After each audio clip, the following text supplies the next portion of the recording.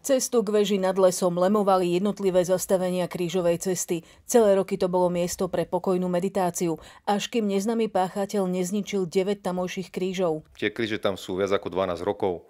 Neviem, prečo sa to stalo práve teraz ťažko mi je k tomu sa vyjadriť. Cez víkend vandalizmus pokračoval. Miestni ešte nestihli odpratať 9 zničených krížov a na zemi je už ten desiatý, ktorý znázorňoval 12. zastavenie. Na to vysvetlenie nie je, pretože to, že je zničené práve 12. zastavenie je dosť signifikantné, pretože je to asi najdôležitejšie zastavenie krížovej cesty. V meste vedľa seba nažíva vo vzájomnej tolerancii sedem náboženských skupín, preto obyvateľia len krútia hlavami. Je to vandalizmus a poriadny. To je bezcitný človek. To je, neviem, to v hlave v poriadku nemá určite, že? No čo vám poviem, no.